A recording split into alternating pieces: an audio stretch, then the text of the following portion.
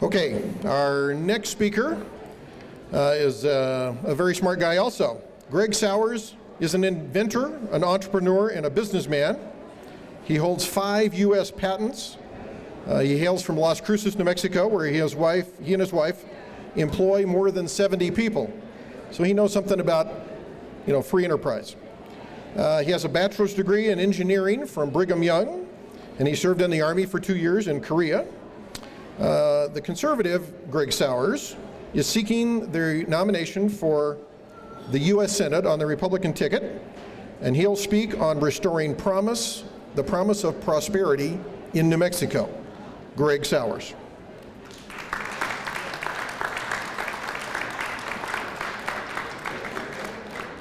He's trying to find his speech. no. Okay, yeah, go ahead. Here we go. Okay, thank you. Thank you.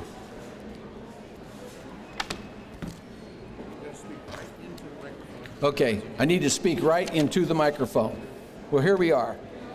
Okay, 40 years ago, I was discharged from the military. As uh, Frank mentioned, I'd served in the military. Uh, he did get something wrong at, at okay, at the, uh, I, I had a teaching degree, not an engineering degree. So uh, I was a school teacher for four years. But when I was discharged from the military, I came back to New Mexico here at the university, enrolled, and there I did the greatest achievement in my life. I met and married my wife, Karen. She has borne me. she has borne me six children, and we now have 18 grandchildren and are expecting two more in 2012. Uh, our first son was born right over here at the Presbyterian Hospital. So that was an exciting time in our life. So I'm glad to be back on campus to speak with you today. You know, many things have changed since the 70s, but I find that human nature is always consistent. And it's been consistent throughout the ages, and it isn't going to change by some smoke and mirror politician. When my classmates and I graduated, we felt that we would be able to get a job with a stable company and work for the rest of our life, our productive years. That wasn't the case with then, and it's not the case now. The job market has changed, the mindset of businesses has changed, and the world has shrunk. Today, the average college student will skip from job to job and company to company multiple times during their career. And finding their niche during, at, in this climate will be very difficult, but there is a way forward, and we know that that way forward is not hope and change. What America, what America needs is the promise of prosperity, prosperity, prosperity. Re restoring the promise of prosperity is what I've come to talk about with you today. As a young man, I'm a lot like the young men and women today. I started my career as a teacher, as mentioned, and after a few years, I started my own manufacturing business. I just wanted to see what it was like to, to be an entrepreneur and step out and do things. And so, and over the next several years, I received my five patents, and one of those was for the Quick Kick Speedball, which is a soccer training device, and uh, we still sell those on Amazon.com. So if you're looking for a Christmas present for your children, grandchildren, hey, look it up. QuickKick.com. It's on Amazon. Okay. Uh, I also worked in a number of trades, uh, contracting, a contractor. I've driven a batch truck on a highway crew.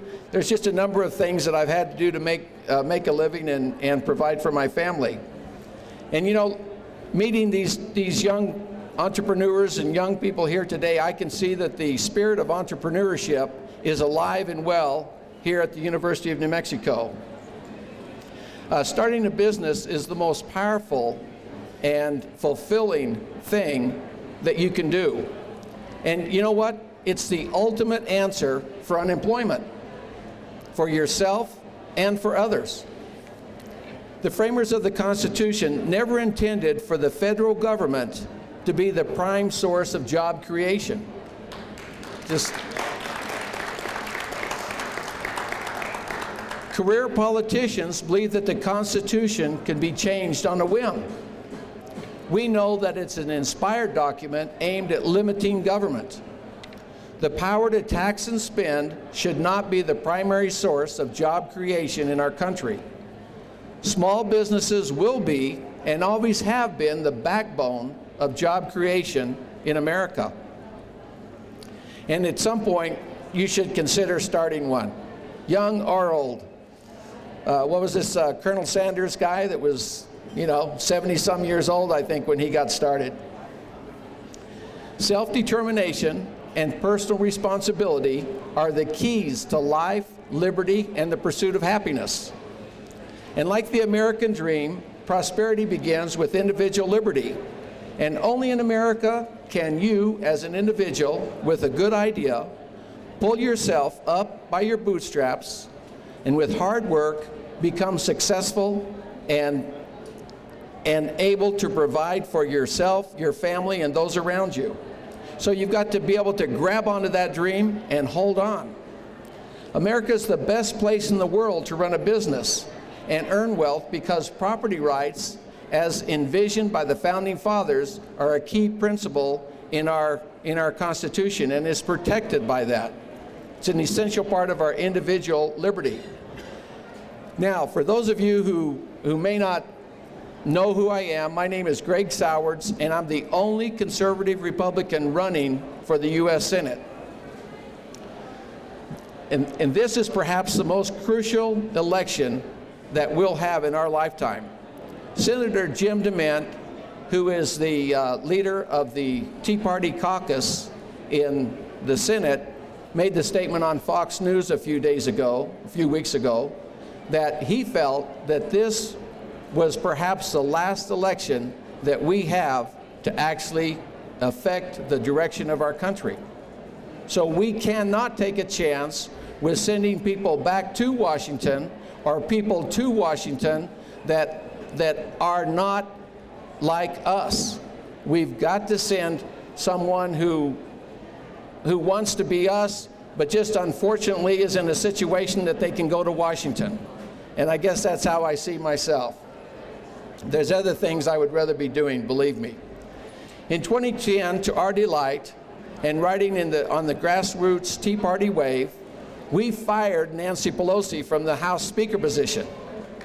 Yeah. And in 2012, with your help, we'll once again unite together and we'll fire Harry Reid from his leadership position. We can do that. But here in New Mexico, we have a very serious hurdle to overcome, and that's in the very liberal Martin Heinrich. Heinrich's voting record matches the Obama agenda T for T. And it's, it's just a madness is sweeping our country.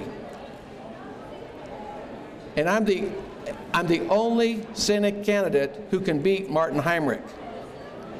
And the reason I can is because I will unite the conservatives, the young Republicans, and I'm looking to unite the independents and the conservative Democrats alike.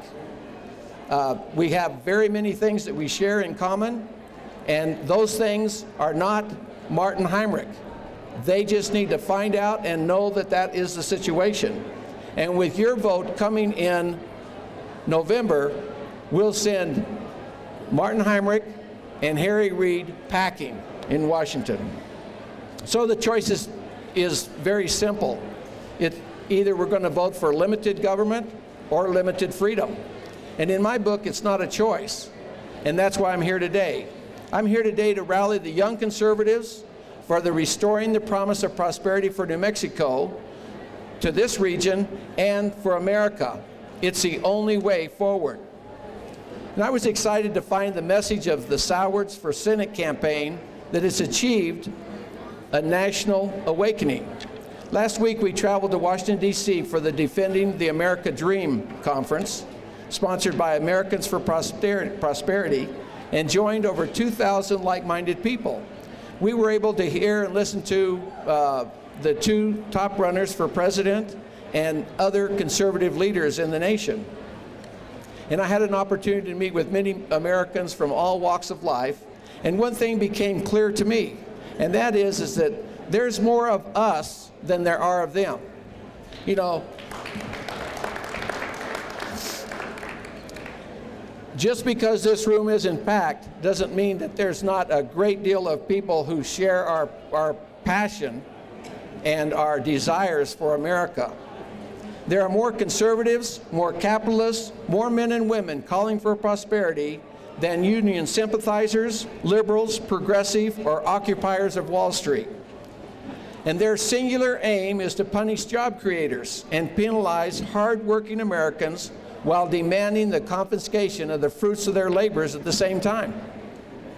It, it makes reason stare, doesn't it? Well, we have the momentum and we have the right message. We are winning. And regardless of what the liberal media says and tries to force on you, you can be confident that if you are seeking to restore the promise of the American dream, if you seek the blessings of prosperity, if you yearn for liberty, you are not alone. There are more of us than them, and we are winning and will win in 2012.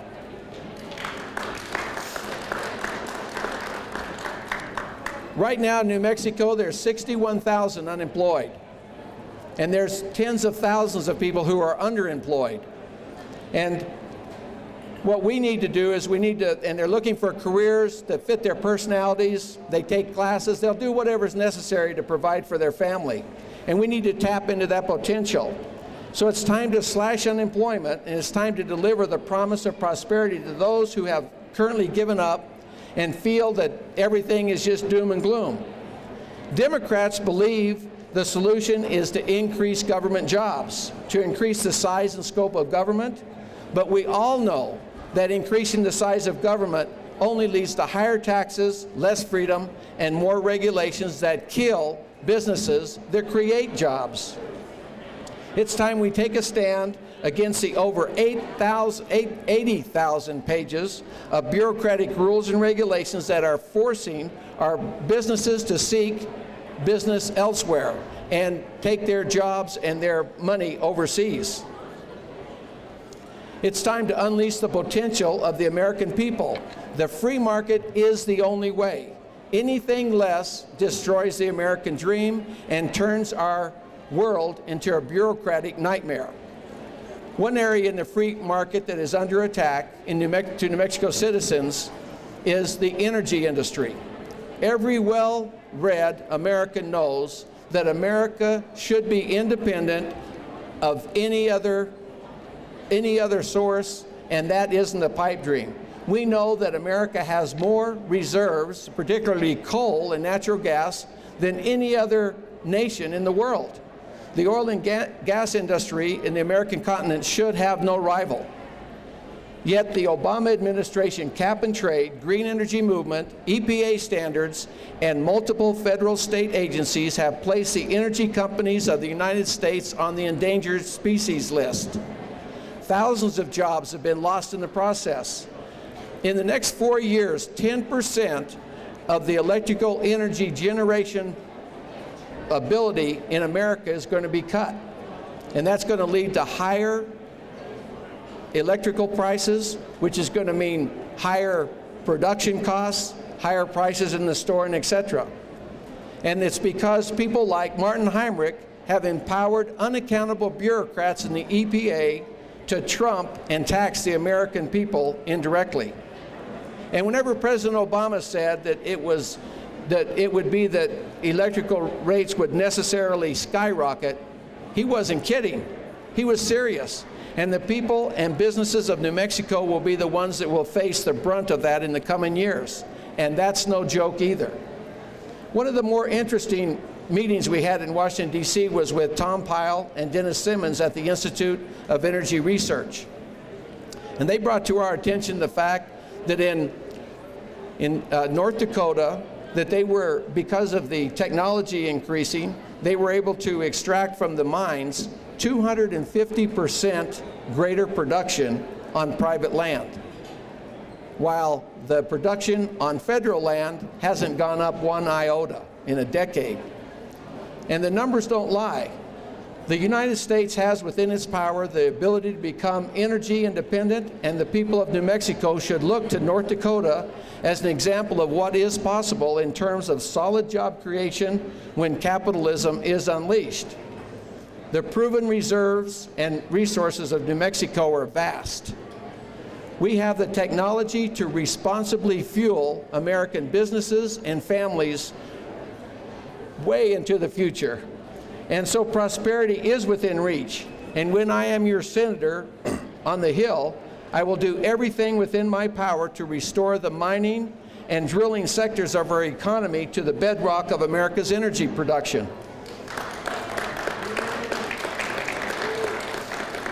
And that will also help with the, with the financial stability of New Mexico.